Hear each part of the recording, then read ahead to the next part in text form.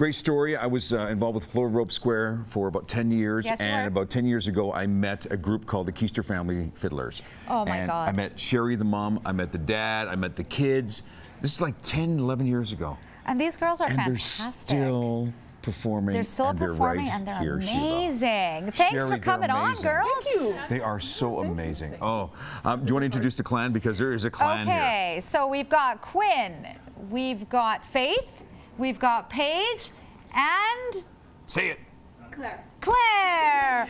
I'm work. sorry. but I know Sherry really well. Yeah, there you go. Yeah, This is girls, I mean, wow, you're growing up right Oh, before yeah. our eyes. You've been doing this for nine years. This is your ninth Stampede. And that's been the biggest comment we've had. This hmm. stampede is so many people have said, we can't believe how quickly they're growing up. Yeah. Oh. And all of a sudden they're young ladies. This is your idea.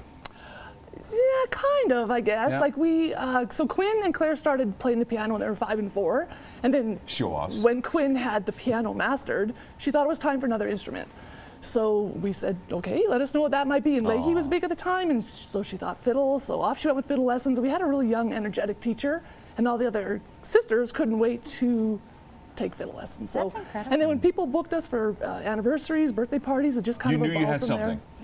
Uh, yeah, yeah, And an you know what? They all seem to really, really enjoy this, and they've really honed their craft. And of course, you and your husband have been standing by them through this whole time, taking them really all around the world to represent the Cal- Calgary Stampede We as well. yes, yeah. So Yeah, we have done that. congratulations So thank on you. that. No, it's been great. Quinn, I mean, you were hanging out with your, your sisters for so many years. I mean, you know, there's always that sibling rivalry that goes on. What kind of relationship do you have with your sisters? Well, I think we have a really great w- relationship with each other because we spend so much time together. Yeah. We've had to overcome those sister ri- rivalries while we're on stage and things like that. We've learned to hide it really well while we're performing as well, so it's kind of funny, but yeah, no, we have a great relationship, I think. Yeah. Well, the They music speak, speaks for itself, and we can't wait to hear you play. Go ahead. uh, We just say, Sherry, do you want to join the, the group? Yeah, let's do love to play that. your. Sherry on guitar.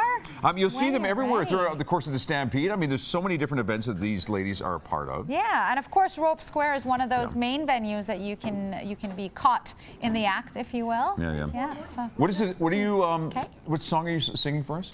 Uh, it's called Old Joe Clark. Old Joe Clark. I can't wait. When, whenever you're ready. Okay,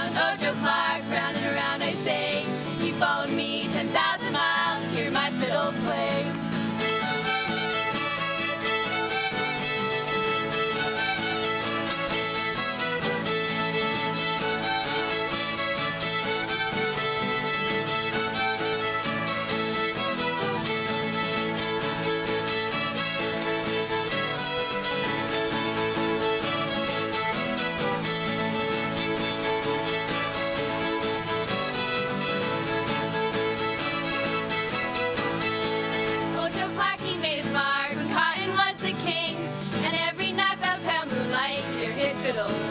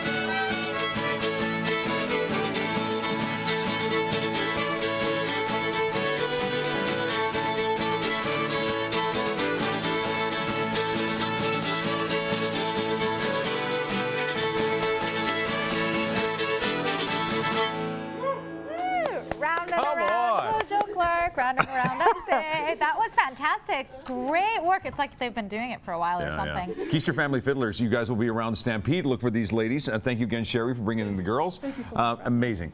Truly Wonderful. amazing. Thanks yeah. for joining us. Our pleasure. Uh, well, one of the things that's kind of cool too when you think about the cowboy spirit, if you will. How about cowboy poetry? It's more, more actually more popular than you think. Yeah, we had a that's chance really to. interesting. Yeah. Oh, wait till you see this. Check it out. on Saddle Up.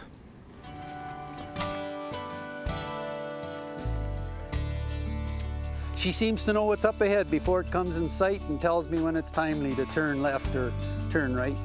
Well, I'm BJ Smith, and I'm doing my best to be retired, but it isn't working out too well. So I train horses, and I pack, uh, pack trips in the mountains. And I play around quite a bit with cowboy poetry. Why, she'd keep me on the straight and narrow and never get me lost, and I'd be glad to have her no matter what she costs. Poetry is really handy when you're working with, with livestock, believe it or not. There is a reason why cowboys and poets kind of work together because if you can keep livestock quiet when you're working with them, you'll be much more successful. And uh, I got into the habit of making my talk rhyme so as I could remember it. And uh, so that's where cowboy poetry started for me. It's many years ago. On I turned her switch because they told me at that gadget store she'd work without a glitch. Well, I'm not that old, but I was born an awful long time ago, and I did get to drive horses when I was a youngster, and uh, so that's where I, I kind of got the, the bug for horses. So Duke is, um, he's a pretty special horse to me.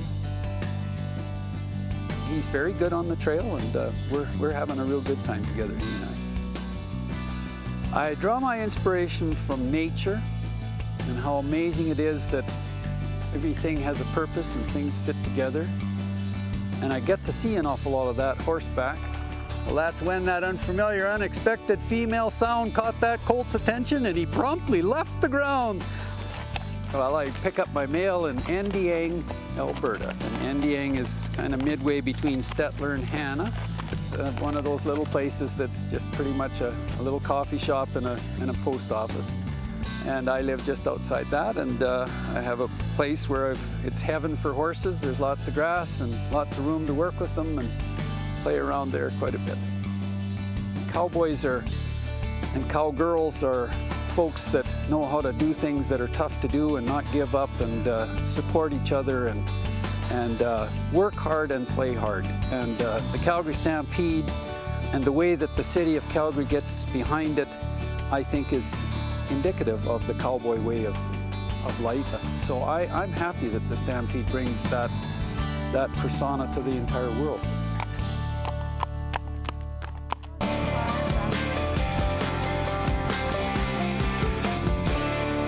When you see that video, it's so peaceful, so calming, and you can understand Yes. the guy with the Lanny McDonald mustache. He did have is- that, didn't Is he? so so very very famous, and thank you very much Sure. for uh, for being a part of our show as well here on Saddle Up.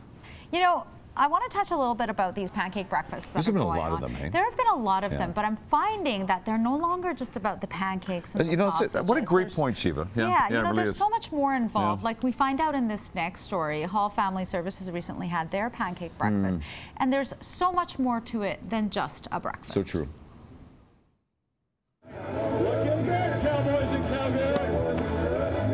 Started this actually uh, 27 years ago by ourselves. So now it's a beautiful partnership between ourselves, Lions Club, and Wood Creek Association. So 27 years of, uh, we started off so small. Probably originally we might have had a few hundred people, and it just grown by thousands every year. Last year it was getting close to 6,000 people. So that's a, that's a lot of pancakes. Okay, so my wrist hurts after. Really, what we are is a, is a behavioral mental health agency. That's what we deal with. We deal with behavioral mental health issues of children. And our wish is, uh, in terms of a vision, is that eventually maybe there will be no children with mental health issues, and that's really what we want to see. We've been uh, providing services for uh, the community for about 53 years, and uh, where this Stampede uh, breakfast is situated is where we started uh, historically 53 years ago as a residential treatment program. A lot of people coming together, a lot of organizations coming together to make this happen. And we really want to make this really kid friendly, as you can see, and lots of people from the community.